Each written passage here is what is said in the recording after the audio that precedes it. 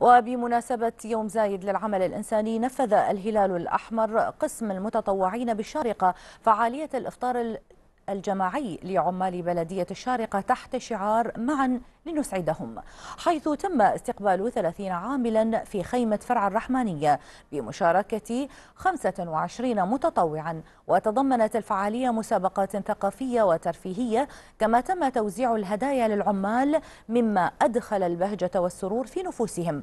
وتوجه العمال المشاركين المشاركون في الفعالية بالشكر إلى هيئة الهلال الأحمر على دورها الإيجابي في خدمة المواطنين والمقيمين على أرض دولة الإمارات. Up.